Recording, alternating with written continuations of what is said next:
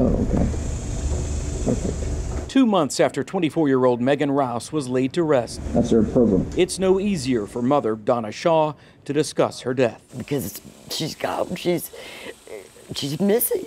You know, she's not missing, but she's missing from the family. The fourth of five daughters was found dead May 3rd along a secluded street in South Houston, beaten and shot multiple times. You know, did she call out for me? Did you know? Did she call out for her dad? You know, I think about her. You know, just laying there. Shaw considered Megan a butterfly who kind of fluttered through life, but has no idea how she ever encountered the man accused of killing her.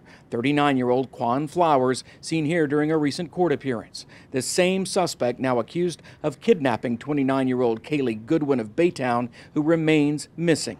Police say she was last seen April 21st, leaving this apartment complex with Flowers in his girlfriend's car.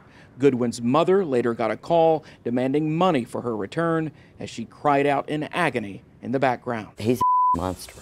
I didn't mean to say that, but you know, it's just it boils down to it. That's all he is. Her fight is our fight, is what Shaw's t shirt says, and finding justice now extends beyond her own daughter to others possibly impacted by Quan Flowers' alleged acts. I mean, I hope they up the charges to capital murder. I want him to have the death penalty.